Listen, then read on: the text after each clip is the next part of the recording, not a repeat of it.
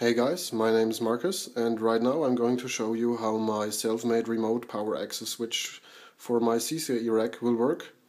As you can see here I have my uh, part of my lab, it consists of some switches, my GNS3 server right here and um, what I'm going to do now is to power that rack up with a Telnet client from a uh, cell phone for example.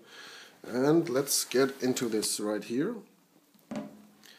I have installed a Telnet client on my uh, iPhone and um, it, that is called ZA Telnet as you can read right here.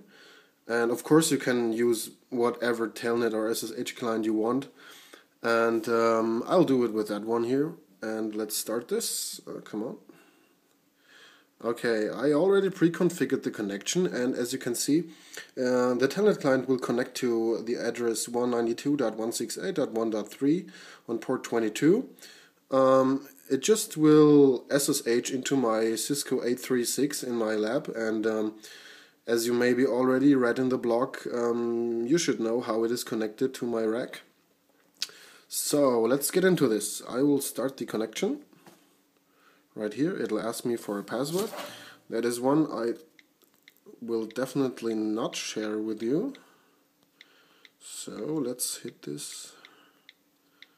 Okay here we are. Just enter the password hit OK and the connection should start and everything seems to be okay right here. Okay we're done.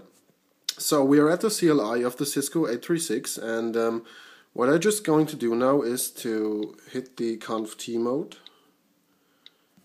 conf t. Then I will go to the participating interface.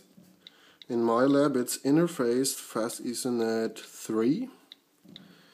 So, and I just need to hit the no shut and then the rack should fire up. So I will I will do this while showing you if it's working fine.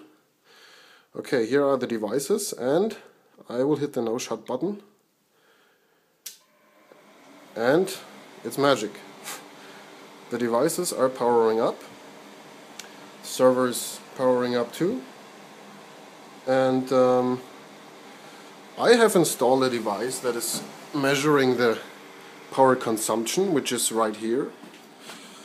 And um, okay it's it's just on the different direction I will just turn the camera and um, oh didn't work. So uh, it it just shows that the lab consumes about 399 watts. Okay let's say 400 watts of power which is for this rack it's quite good. And um, of course we can we can shut the rack down again if we just enter the shut command so let's go on to our Telnet client. Here we are. We hit uh, reaches right shut. No, come on. Yeah, don't forget to buy the pro version.